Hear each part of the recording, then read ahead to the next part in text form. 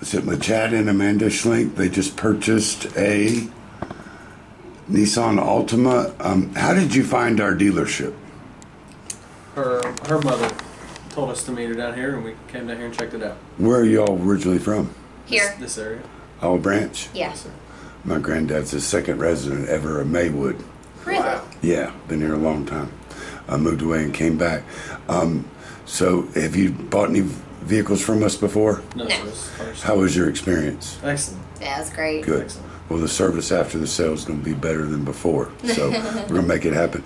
Uh, did they go over all your finance questions with you? Get all that handled? Yes, They sir. did. Uh, did you trade in a vehicle today? No. No, sir. Okay. Um, would you recommend Homer Skelton Ford to your friends and family? Yes, sir. Definitely. Absolutely. Great. We appreciate your business. Thank you.